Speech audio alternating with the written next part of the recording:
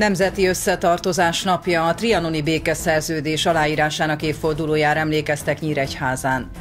Dolgoznak a töltéseken, közel 22 kilométer elsőrendű árvízvédelmi töltésfejlesztés valósul meg a Kraszna és a Batár védvonalán. 60 éves papi szolgálat, Bosák Nándor nyugalmazott püspök celebrált ünnepi szentmisét a Magyarok Nagyasszonya Székesegyházban.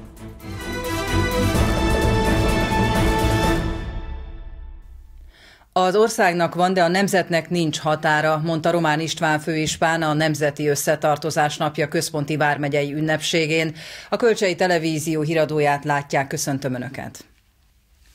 1920. június 4-én a trianoni békeszerződés következményeként több mint 3 millió magyar került az új határokon kívülre. 2010 óta ez a nap hivatalosan is a Nemzeti Összetartozás napja.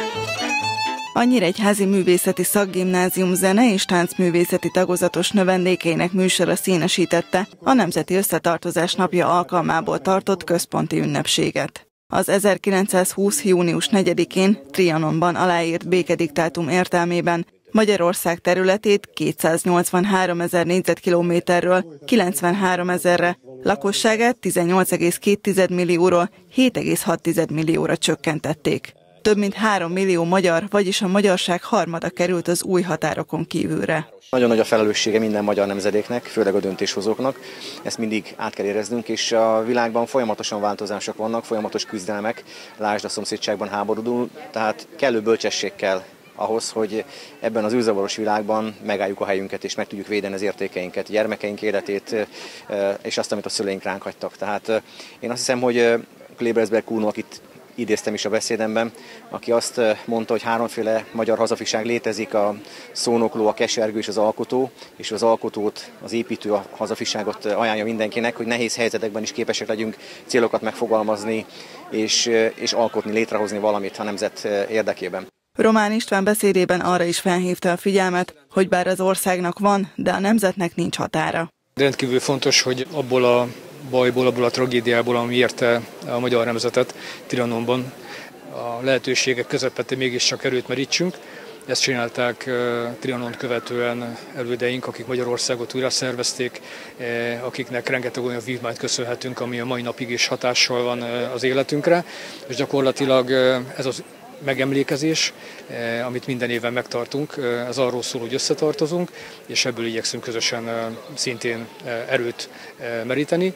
Úgy gondolom, hogy ez nem csak a Magyarország jelenlegi területén belül élő, hanem a határainkon túlélő több millió magyar számára is egy rendkívül fontos üzenet. A trianoni béke vármegyénkben erőteljesen éreztette hatását, a szétszakított családok mai napig nem felejtették el ezt a tragédiát. Nálunk ott a Berekben, ahol én születtem, ott van egy olyan mondás, hogy hogy a családnak, a szülőföldnek és a hitnek a hármas ereje az szent és megbonthatatlan, és hogyha ebből bármelyik hiányzik is, akkor utána az emberben állandó hiányérzet küzd valahogy úgy érzi, hogy nem, nem, nem nevet rá Istennek a derűs arca. És a trianoni békediktátum következtében nagyon sok honfitársunk, nagyon sok magyar ember veszítette el, vagy a családot, vagy pedig a szülőföldjét. És nekünk az a küldetésünk, és ez a legfontosabb feladatunk, hogy a hit ereje által, és az összetartozás ereje által ezen a napon is, és az év minden napján ezt a hitet erősítsük benne, hogy azt a hiányérzetet amennyire csak lehet csökkentsük. Az első világháborút lezáró trianoni békeszerződés aláírásának emlékére a Vármegye házán lévő emléktáblánál is koszorúkat helyeztek el. 40%-os készültségnél tart az árvízi biztonság növelése a Fetivízik területén projekt. Ennek keretében közel 4 milliárd forintos hazai és uniós támogatásból fejlesztik az árvízvédelmi töltéseket a Felső Tisza két mellékfolyóján, a Krasznán és a Batáron. Összesen mintegy 22 kilométeren magasítják a folyók védvonalait, amelyek ezzel kerékpározásra is alkalmasak lesznek. A Batárt érintően újjáépítik a csőzsilipet és a mobil szivattyúállást, valamint a megépülő vízi létesítmények fenntartásához és üzemeltetéséhez szükséges eszközök beszerzését is biztosítja a program. Csendesen csordogál a Kraszna kocsornál. Az 1970-es árvíznél azonban komoly problémákat okozott a térségnél. Ekkor az árhullám elérte a 700 cm-t. De nem ez volt az egyetlen árvíz a Krasznán. 1998 nyarán is pakolták a homokzsákokat a helyiek, és 2006-ban is akadt dolgok a szakembereknek. Ezért itt bár még érintetlen a töltés, Olcsváig 4,3 km hosszan fejleszti a jobb parti védvonalat a Feti vízig. A tavaly kezdődött, 2022-ben ez a projekt, közel 22 km elsőrendű árvízérdemi töltés fejlesztését jelenti. Természetesen van egy zsilip is itt a Batárnál, amit át kell építeni, a töltés szelvény növelésével párhuzamosan egy kis szivattyúállás is kiépítésre kerül. Ebben a projektben eszközbeszerzés is be van ütemezve, egy kacagép, többféle tartozékkal, egy személygépkocsi beszerzése és zsíritnyitó szerkezet beszerzése, amely tulajdonképpen már meg is történt, azt lehet mondani, hogy a gép beszerzésére a szerződés van folyamatban. A fejlesztés célja a védvonalon tapasztalható változó mértékű magassági hiány megszüntetése, hiszen a kraszna eredeti töltése mind keresztmetszetét, mind pedig magasságát tekintve igen változatos. A bővítés során először a meglévő humuszréteget eltávolítják és deponálják, mivel ezt később visszaterítik az elkészült földműre. Ezután a nagydobos határában lévő anyagnyerő helyről ellenőrzött minőségű földanyagot hordanak a töltéshez, ez a folyamat jelenleg is zajlik. A kívánt magasság elérése után következik majd a töltés koronák aszfaltburkolattal való ellátása. Ez nem csak védelmi funkciót lát el, lehetőséget biztosít a kerékpáros és gyalogos turizmus számára a természet közeli környezetben való kikapcsolódásra. Területen végzett vízi beruházások ugye kapcsolódnak mindig a település fejlesztéshez is. Úgy is készülnek és úgy is szoktuk ezt megtervezni, tehát mindenképpen ennek tekinthető, és úgy is lesz kialakítva a, a járhatósága is, tehát speciális sorompók lesznek, ami kerékpárra könnyen járhatók, viszont gépjármű forgalom az igazából nem lesz megengedett ezeken a szakaszokon jóformán csak a fenntartási munkák elvégzéshez, még védekezéskor. A földmű fejlesztése ki van téve az időjárás viszontagságainak és a vízjárásnak. A hullámokban nagy mennyiségben érkező esőzések hátráltatták a munkát, jelenleg 40%-os az előrehaladás. A következő hónapok szárazabb időszaka azonban kedvez a földmunkáknak, így gyorsabb ütemben tudnak majd haladni a szakemberek. A tervek szerint idén november végére befejeződik az építkezés.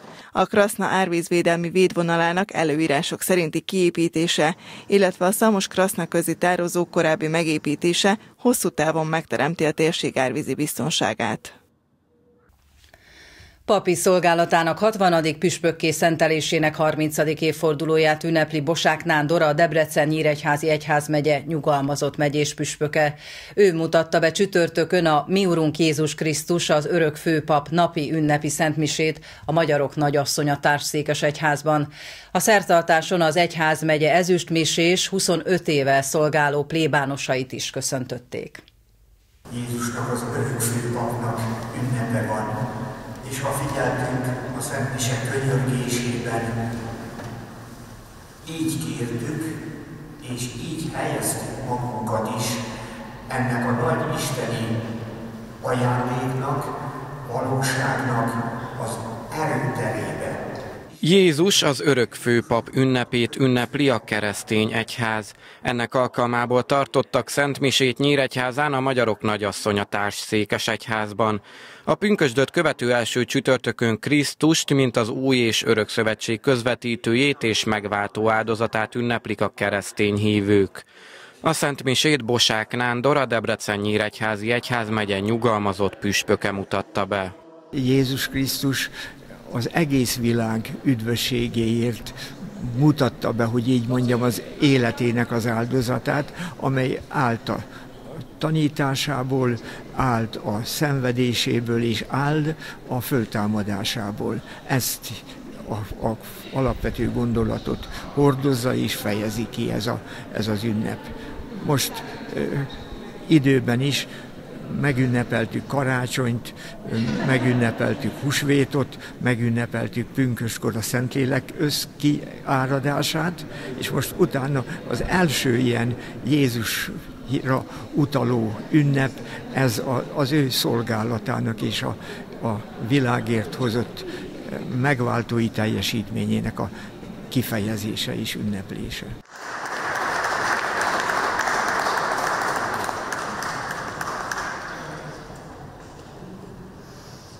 A hívek is köszöntötték a Gyémánt Misés Bosák Nándor püspökatyát, aki két jubileumot is ezekben a napokban ünnepel. 60 évvel ezelőtt áldozó pappá, 30 évvel ezelőtt pedig püspökké szentelték. Ő volt az újonnan létrehozott Debrecen Nyíregyházi Egyházmegye első püspöke, így az ő feladatai közé tartozott annak megszervezése, az épületek biztosítása és az egyház kormányzat kialakítása. 60 év alatt nagyon sok minden történt. Tehát nem is, nem is az, hogy mi történt, hanem az ember 60 évvel ezelőtt részesedett a, a papság kegyelmében, és azóta úgy telik az életem, hogy, hogy ebben élnék. Engem ez, ez, ez mozgat, ez irányít, ehhez igazot, hogy igazítom, és igazítani kell az életemet. Ebből a 60 évből 30 évet áldozópapként, 30 évet pedig már most püspökként töltöttem el. A Szent Misén az Egyház megye ezüst misés áldozó papjait is köszöntötték, Pankotai Józsefet, Tamaskovics Lászlót és Tóth Lászlót, Nyiradony, Nyíregyháza kertváros és Debrecen megtestesülés plébánia plébánosait 25 éve szentelték áldozó pappá. Közel 3,5 milliárd forint többlettel zárta a 2022-es évet a Máté Szalkai önkormányzat. A testületi ülésen a város cégeinek előző évi beszámolóit, valamint fejlesztési terveit is elfogadták a képviselők.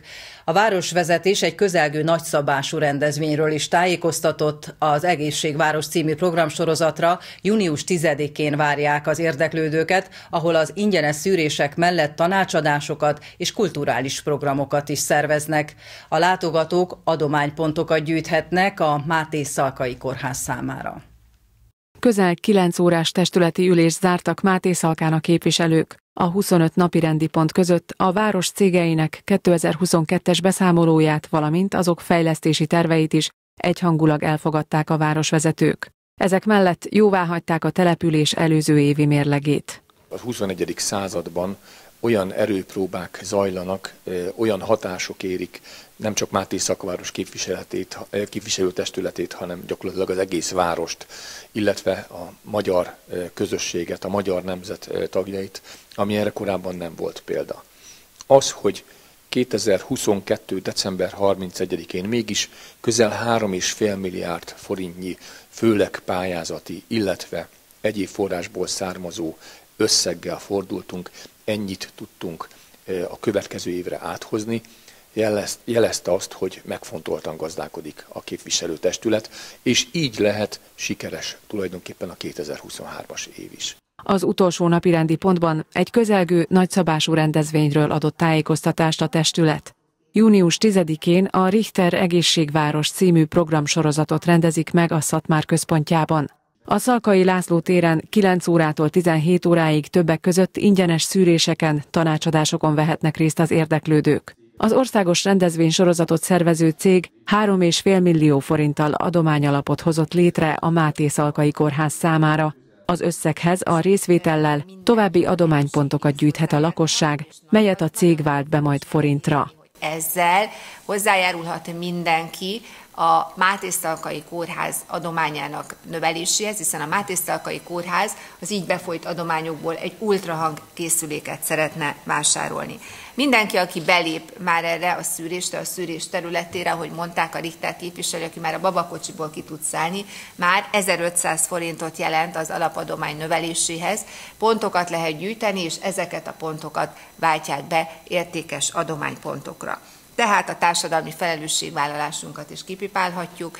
E, ezek mellett azon túl, hogy az egészségünkkel is, egészségünkért is nagyon-nagyon sokat tehetünk. Az is elhangzott, aki nem tud részt venni a Máté Szalka központjában tartott Egészségváros című rendezvényen, az online az esemény lájkolásával is adománypontot gyűjthet a kórház számára, melyet szintén a szervező cég forintosít majd. Szakképzésért díjakat és elismerő okleveleket adtak át csütörtökön a Nyíregyházi Szakképzési Centrumban. A rendezvényen a centrum országos versenyeken kimagasló teljesítményt elért tanulóinak felkészítő oktatóit is köszöntötték. A középszerű tanár magyaráz, a jó tanár indokol, a kiváló tanár demonstrál, a nagyszerű tanár inspirál. William Arthur Ward idézete fémjelezte a csütörtöki rendezvényt, ahol a város szakképzési iskoláinak pedagógusai vehették át okleveleiket alázatos munkájuk elismeréseként. A Nyíregyházi Szakképzési Centrum pedagógus napi ünnepségére a tíz iskola igazgatói, igazgató helyettesei és a díjazottak kaptak meghívást. A Szakképzési Centrum két elismerést alapított, hozott létre. Az egyik a szakképzésért díj, amely egy nagyobb elismerés és egy hosszabb életút pedagógus pálya elismeréseként kerül átadásra, illetve 15 kollégának adjuk át az elismerő oklevelet, ezen kívül pedig külön külön díjazásban részesítjük azokat a kollégákat, akik valamilyen országos szakmai közismereti eh, vagy egyéb innovációs versenyre készítettek föl eh, tanulókat.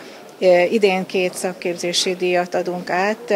Mindkét díjat két olyan kolléganő kapja, aki nagyon régóta végez szakmai felkészítést, és mindkettőjük országos első-második helyezett versenyeredményeket hozott több éven át keresztül. Nagyon jó szívvel adjuk át ezeket a díjakat. Úgy gondolom, hogy egyrészt elismerés a munkájuk, másrészt pedig a többi kolléga is látja, hogy ha valaki jól dolgozik, akkor igen, mi elismerjük. A 15 15 elismerő oklevél közül 13 oktató számára kerül átadásra majd. Egy olyan kollégánknak is átadjuk a díjat, aki iskolában dolgozik, nem oktató munkakörben, de nyilván ő nélkülük is nélkülözhetetlen a, a színvonalas szakmai oktatás, és egy kolléga pedig, aki a szakképzési centrum munkaszervezetében dolgozik. Természetesen valamennyi kollégának köszönet illeti a munkáját. Dénes Györgyné tanulóként és oktatóként is részese volt az intézmény elmúlt 43 évének. Diákjai között szerepel a szakma kiváló tanulója verseny első helyezett szakácsa. Életútját folyamatos önképzés jellemzi. Nagyon-nagyon boldog vagyok. Nagyon büszke vagyok, hogy a Nyíregyházi Szakképzési Centrum Sipkai Barna Technikum oktatója lehetek és úgy gondolom, hogy az eddigi pályafutásom alatt tett tevékenységeim az emeltek erre a színvonalra természetesen, ami hosszú évek nehéz munkája. Szakképzésért díjban részesült Dányiné Csejéva, aki 2001 óta dolgozik a Nyíregyházi Szakképzési Centrum Vásárhelyi Páltechnikumában. Vízügyi ágazatban készíti fel tanulóit szakmai tanulmányi versenyekre. Hitvallásának tartja az egész életen átvaló tanulást, így a felnőttek oktatásában is szerepet vállalt, segítve őket egy újabb szakma elsajátításában. Nagyon meghatódtam, nem tudtam erről, nagyon köszönöm az iskolámnak, és akik úgy gondolták, hogy erre a díjra én érdemes vagyok. Az Éviszt képviselem, az Éviszben tanítok, oda jártam, mint középiskolás diák, és, és remélem, hogy nagyon sok mindent tudtam átadni a tanítványaimnak. Az elismerő oklevelekben részesült pedagógusok is büszkén vették át kitüntetéseiket. Méltatásaikban részletesen kitértek diákjaik sikereire, melyekben pedagógusaik igen nagy szerepet játszottak. Szabó Márta és Pregicel Fruzsina a szereplője annak a vígjátéknak, amelyet pénteken mutatnak be Nyíregyházán a Színbánt rendezvényteremben. A Maggi és Lille Múr című darabot Rák Zoltán állította színpadra.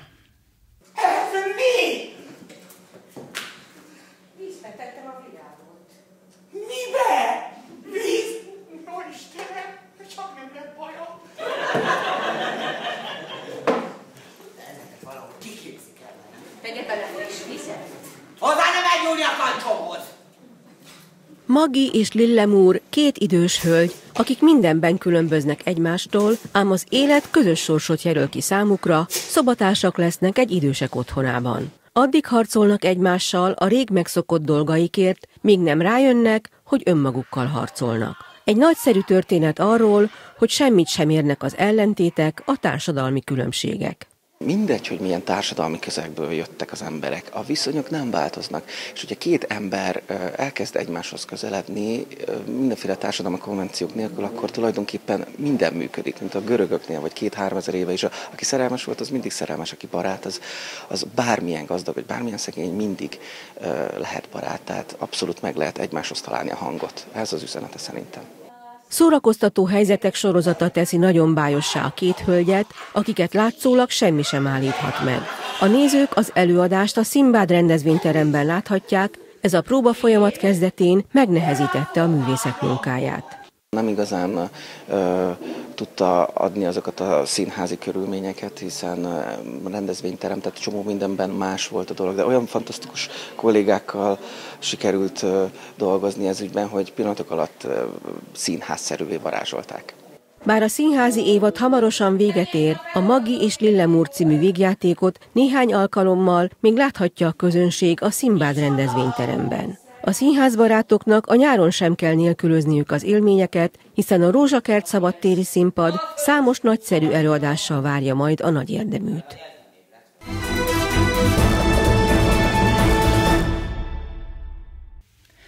15 ezer dollár özdíjazású nemzetközi férfi tenisztorna kezdődik vasárnap Nyíregyházán a Marsó Teniszcentrumban. A 32-es főtáblán ott lesz a nyíregyházi Juhász Bence is, mellette még három magyar versenyzőnek szurkolhatnak a tenisz szerelmesei. A döntő a tervek szerint június 11-én vasárnap 16 órakor kezdődik.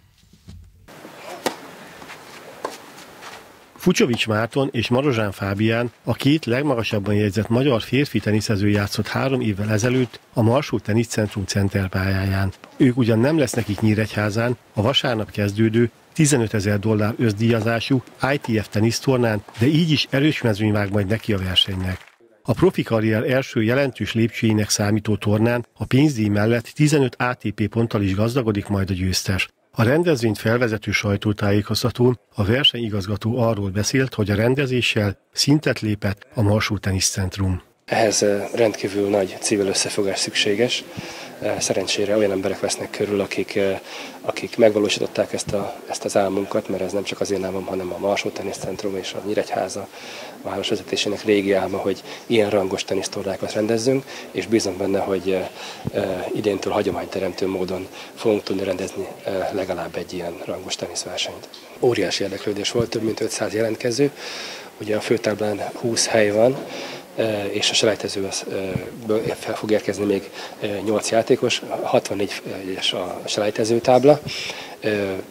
Drukkolhatunk a főtáblán négy magyar játékosnak, köztük két Nyíregyházának, Juhász Bencének és Pál Noelnek, és a selejtezőben pedig Závacki Milán kapott lehetőséget. De egyébként főtáblán alanyi jogon felkerült az a fajta Péter, aki ezen a héten megnyert egy hasonló kategóriai szerb tenisztornát. A torna megrendezésében a Magyar Teniszszövetség is segíti a szervezőket. Nagyon örültünk neki, amikor a Marsó Teniszcentrum képviselői megkerestek minket az ő ötletükkel vezérelve, hogy szeretnének egy ilyen rangos eseményt megrendezni. Természetesen rögtön mögéjük álltunk, hiszen a Teniszszövetség nagyon fontos lenne a jövőben, hogy legalább egy 8-10 hasonló versenyen tudják a legtehetségesebb, legfel, legtehetségesebb fiatalok megkóstolni, hogy milyen a profi tenisz világa is bekapcsolódni. Úgyhogy azon kívül, hogy természetesen szakmai segítséggel a verseny előkészítésébe folyamatosan kapcsolatot tartottunk, ezen felül nyilván egy anyagi támogatással is hozzájárul a Teniszszövetség a verseny megrendezéséhez. Nyíregyháza polgármestere elmondta, hogy fél évtizedes előkészítő munkára volt szükség ahhoz, hogy egy ilyen kategóriájú tornát meg tudjanak rendezni a városban. A Marsó Városi Teniszcentrum Egyesületnek adtuk át az üzemeltetést öt éve. Beindultak a kisebb-nagyobb fejlesztések, a legnagyobb tavaly volt, amikor 200 milliót nyertünk és fordíthattunk a teniszcentrumra. Itt ugye egy új lelátó épült, éjszakai világítás, pályák öntözése, kerítéscsere, hát ezek kellenek egy ilyen nemzetközi verseny megrendezéséhez, tehát most elértünk oda, hogy egy ilyen verseny, egy pénzdíjas nemzetközi verseny rendezésére kerülhet sor, ami nem csak egy sport, nagy sport esemény, nem is tudom, mikor volt-e egyáltalán volt-e ilyen Nyíregyházán, de hát ez a sportturisztikát is erősíti, mert nagyon sokan fognak jönni. A torna vasárnap a selejtezőkkel kezdődik. A 32-es főtábla játékosai először kedden lépnek a salakra. Amennyiben az időjárás is úgy akarja, a verseny döntője június 11-én vasárnap 16 órakor kezdődik a végig ingyenesen látogatható Marsó Nyíregy Openen. Június másodikán pénteken a Kölcsei Televízió híradóját látták, szombaton heti hírösszefoglalóval, hétfőn pedig már a legfrissebb hírekkel várjuk majd Önöket. Töltsék kellemesen a hétvégét, viszontlátásra!